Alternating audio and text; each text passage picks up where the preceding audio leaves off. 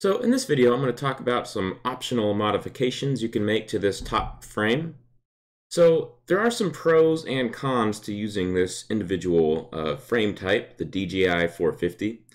The the main pro is it's it's super cheap. It's like, you know, $18 for a pretty good frame.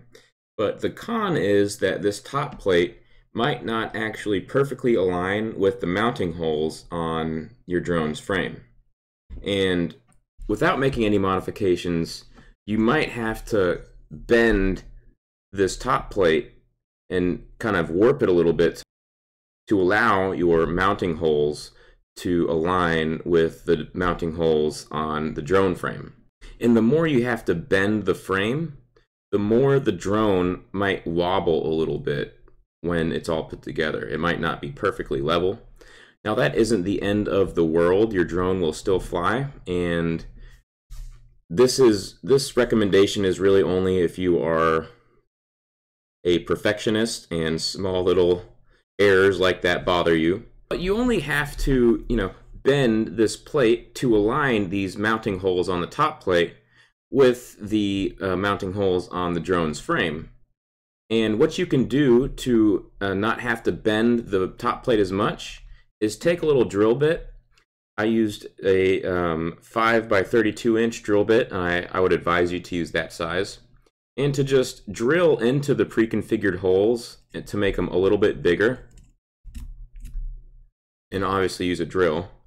But that was able to let me align the holes of the top plate with the holes of the bottom plate a little more easily without having to bend this top plate. And since I didn't have to bend the top plate as much, the drone was basically level on flat, a flat surface. Okay, now it's finally time to install the top plate with our Raspberry Pi and Navio to the top of our drone. Now, one thing to be aware of, we will look at here at the Navio. See that arrow here is pointing towards the front of the drone. So however we point this Raspberry Pi, that's going to determine the front of the drone. And again, since I have drilled some holes, some larger holes into the pre-configured holes of the top plate.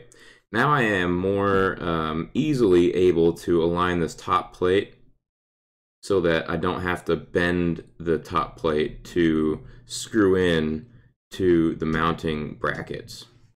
Now if we used method 1 for securing our Raspberry Pi and Navio to the top plate, then this will be a very straightforward process we will just place the top plate onto the drone frame. And since the arrow is pointing forward, now we have indicated here that our white arms are the front two arms, and our red arms are the back two arms. And we'll simply take our screws that came with the drone kit, and we will screw them through the top plate and into the threaded sockets of each arm. Having three screws into the arms, or even two screws going through the top plate into the arms, will be just fine for securing the top plate to the drone. If we secured the flight controller to the top plate using method 2, and we have some screws on the bottom, well those screws are actually going to get in the way of these arms here. So what we're going to need to do is take these 10 or I think 8 millimeter spacers, and we're going to put those all on the drone.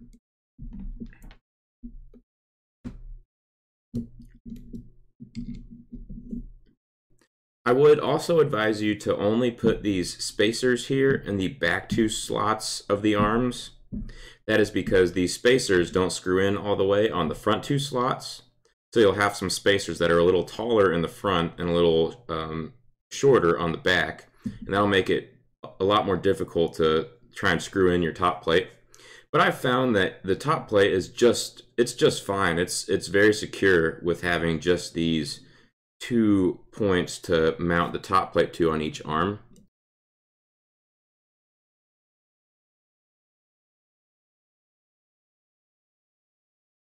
Top.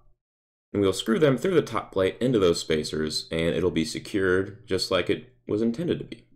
And it will get secured.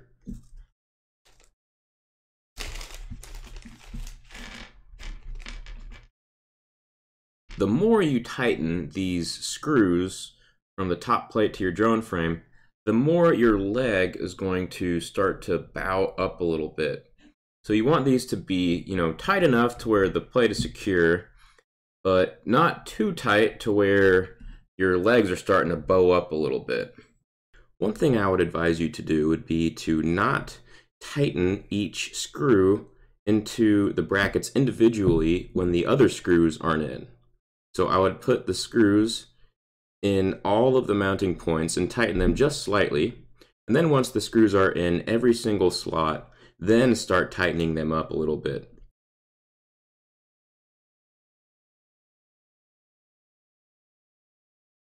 All right, so now our Navio and top plate are secured to our drone's frame.